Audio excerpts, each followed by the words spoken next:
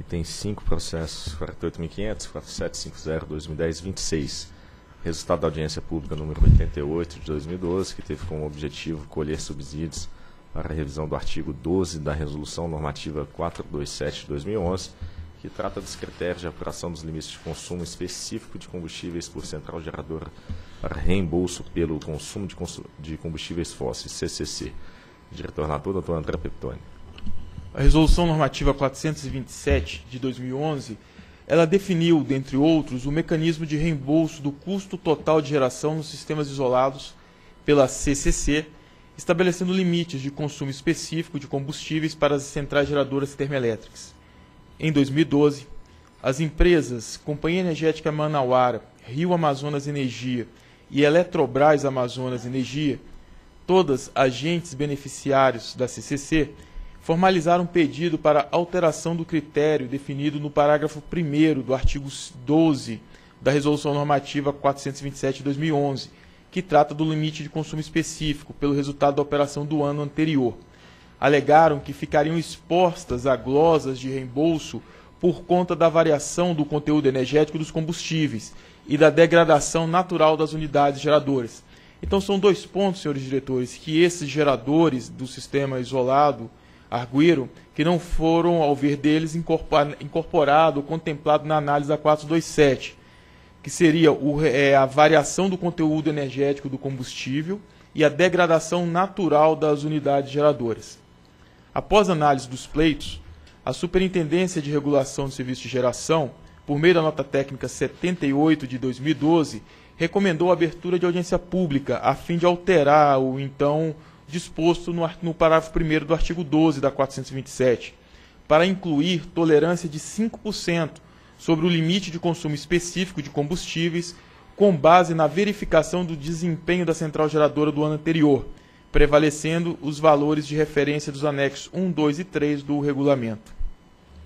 A recomendação da SRG incluiu ainda a possibilidade de a ANEL estabelecer limites diferentes dos valores do anexo da resolução para as centrais geradoras termoelétricas que operam em condições especiais de despacho, desde que justificado, devidamente justificado pelo GETOM, que é o Grupo Técnico de Operação da Região Norte,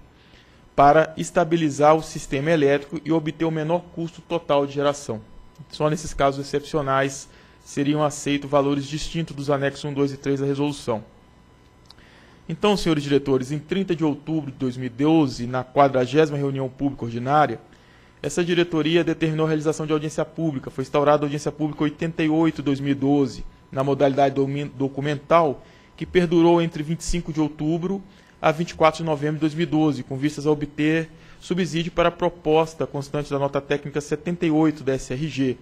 que visava justamente a alteração dos critérios de apuração dos limites de consumo específico de combustíveis para reembolso da CCC, que estava estabelecido no artigo 12 da 427. As contribuições encaminhadas no âmbito da audiência pública 88 foram todas avaliadas e consolidadas pela SRG, então consta a, a análise na nota técnica número 2, de 11 de janeiro de 2013, da Superintendência. A Procuradoria-Geral da ANEL conheceu da minuta de resolução normativa, e a referendou é o relatório. Procuradoria. No curso da audiência pública não foi levantada qualquer questão jurídica passível de exame pela Procuradoria. Por essa razão, a Procuradoria apenas vistou a minuta de resolução.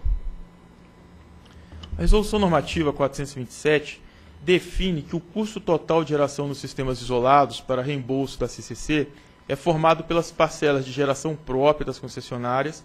e pela contratação de, pela contratação de energia e pelo custo com combustível. Na apuração do custo com combustível, há dois fatores que limitam o reembolso aos agentes de geração. O primeiro é o limite de preço e de consumo específico de combustíveis.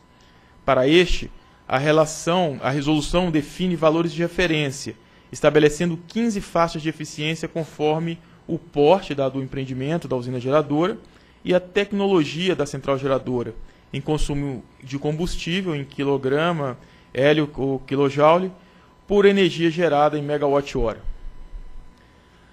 A norma não restringe, contudo, os valores de tabela, pois limita o reembolso também ao menor valor entre o estabelecido em contrato para o empreendimento de geração contratado por agente de distribuição e o valor médio verificado no ano anterior, caso seja inferior ao respectivo limite de referência. Nesse sentido, ainda que uma central efetue a geração de energia com o consumo específico dentro dos valores de referência, conforme sua potência e tecnologia, o mecanismo de reembolso verifica o consumo específico medido no ano anterior e o eventual valor firmado no contrato de compra e venda de energia e aplica o menor valor dentre os três, a tabela, a média da operação do ano anterior e o valor contratual.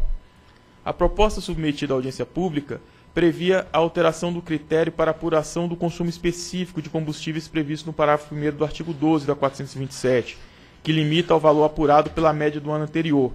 de forma a contemplar as situações de variação no poder calorífico do combustível e de degradação natural das máquinas térmicas, que foram os dois pontos suscitados pelo agente, e a área técnica propôs uma tolerância de 5%. Segundo essa proposta, mesmo com a aplicação da tolerância de 5%, os valores contratuais e os anexos 1, 2 e 3 não poderiam ser ultrapassados. E aqui vamos à análise das contribuições. A audiência pública 88 recebeu 23 contribuições, e aqui eu cito alguns agentes, a Companhia Energética Manauara, Geradora de Energia Amazonas, a Guasco do Brasil e também a Eletrobras Amazonas Energia. As contribuições abordaram, em sua maioria, aspectos que não eram objeto da proposta submetida à audiência pública, como postergação do prazo do início de vigência das alterações, alteração dos limites, apuração com base na geração bruta em vez de na geração líquida e apuração por unidade geradora e não por central geradora. As justificativas para tais pleitos incluíram temas como interligação de localidades e operação de usina fora da faixa prevista, ou mesmo se basearam em interpretações errôneas do que diz, dizia o texto da 427 de 2011. Também foi sugerido o abandono dos preços de referência, ou seja, a retirada do limite para o reembolso, sob a justificativa de que os preços praticados em localidades tão distantes são superiores aos observados nas pesquisas de mercado da Agência Nacional do Petróleo, ANP. Tais contribuições, entretanto, não devem ser acolhidas, pois não integram o objeto da audiência pública. Nós vamos nos deter aqui restrito ao objeto da audiência pública. Ademais, esses assuntos foram exaustivamente debatidos e consolidados quando da elaboração da própria norma, que é a 427, que enfrentou esses temas. O relator da 427 foi o diretor Edvaldo, se eu não me engano, que, que enfrentou esse, todos esses temas que estão ressurgindo agora especificamente sobre a operação de usinas que tenham como resultado consumo específico superior aos limites normatizados, a SRG esclareceu que essa pode ser considerada pela ANEL para reembolso pela CCC, desde que o pleito seja fundamentado nas características de atendimento à demanda de energia e não em razões técnicas da usina que estejam sobre gestão do agente gerador. Não houve contestação quanto à tolerância de 5% sobre o valor do consumo específico apurado no ano anterior, que se baseia no fato atestado pela SRG de que ocorrem situações de variação na qualidade do combustível e também na degradação natural das máquinas térmicas. Conforme abordado na nota técnica 78 de 2012 da SRG, foram analisados os dados encaminhados por beneficiários da CCC, recentes, referentes à qualidade do óleo combustível, o A1 de 2009 a 2012, e especificamente quanto ao poder calorífico inferior, Dessa análise, a SRG observou variação na média anual de janeiro a dezembro em relação ao ano anterior entre menos 1,16% a mais 1,37%. Quanto à degradação natural das máquinas térmicas e ao seu impacto na eficiência energética, a SRG esclareceu que tal fenômeno ocorre proporcionalmente ao tempo de uso e às condições a quais as máquinas são submetidas, como qualidade tipo do combustível e o regime de, de despacho, se é contínuo ou intermitente. Segundo a superintendência, os efeitos dessa degradação são cumulativos e são corrigidos somente no momento em que ocorre a manutenção profunda, que possui o nome de overhaul, realizadas em intervalos de alguns anos, em geral a cada cinco anos, após a, as quais as efici a eficiência energética é restabelecida ao seu patamar original. E aqui a gente traz dois gráficos, senhores diretores, que denota isso. O gráfico 1, referente à turbina aeroderivada da GE, uma turbina gás, mostra a ocorrência da degradação natural da máquina, quanto a, tanto na potência máxima quanto no hit rate. Nesse caso, o hit rate, mesmo que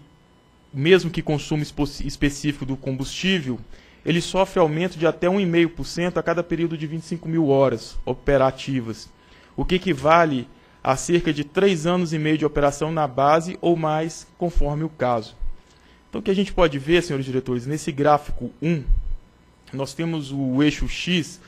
um, uma quantidade de horas. Então, temos aí de 10 mil a 60 mil horas. E a gente observa é, o gráfico de cima, que seria o, o hit rate, ou seja, o consumo específico,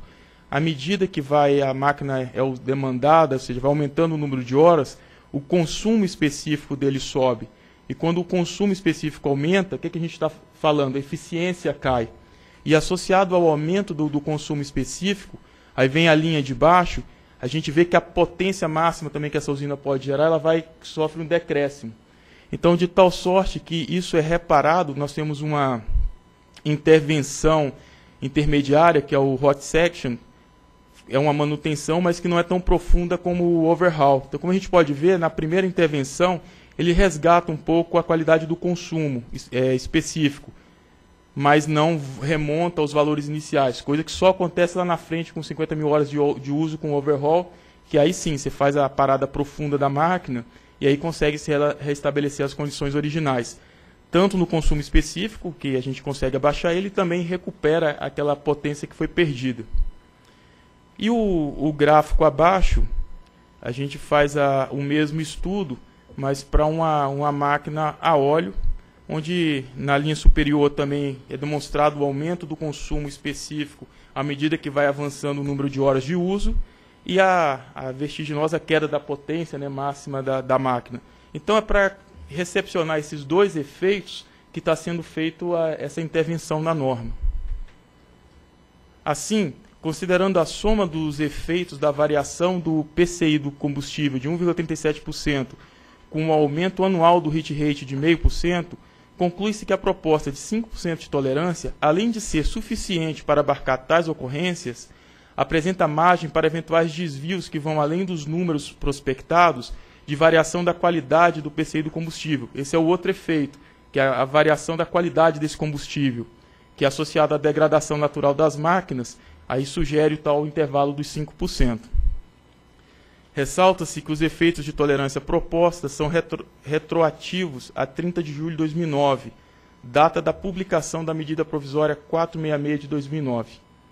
Quanto ao pleito da Eletrobras Amazonas Energia, que solicitou que os limites aplicáveis às suas usinas de Manaus fossem compatíveis com o regime de operação delas, a proposta estabelece que os casos deverão ser tratados de forma individual conforme o regime de cada usina, excepcionalmente as regras da Resolução 427 de 2011. Conclui-se que a minuta de resolução proposta pela SRG está em condições de ser aprovada pela diretoria dessa agência.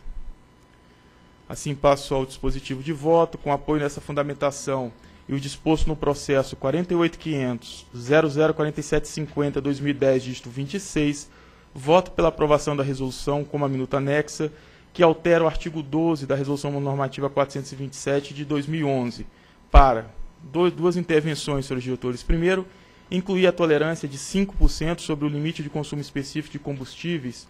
com base na verificação do desempenho da central geradora do ano anterior, prevalecendo valores de referência dos anexos 1, 2 e 3 do regramento e definir que a ANEL poderá estabelecer limites diferentes dos anexos 1, 2 e 3 da 427 para centrais geradoras termoelétricas que operaram em condições especial de despacho, desde que motivado pelo GETOM para alcançar a estabilidade do sistema elétrico e obter menor custo total de geração. É o voto. Em discussão. Em votação. Voto com o relator. Também voto com o relator. Também voto com o relator.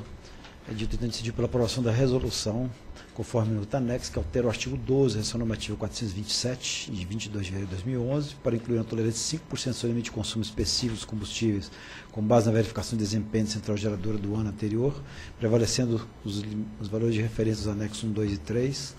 e definir que a ANEL poderá estabelecer limites diferentes valores desses anexos, para centrais geradoras termoelétricas operem em condições especiais de despacho, desde que justificado pelo GETONIC, Grupo Técnico Operação da Região Norte, para alcançar a estabilidade do sistema elétrico e obter menor custo total de geração.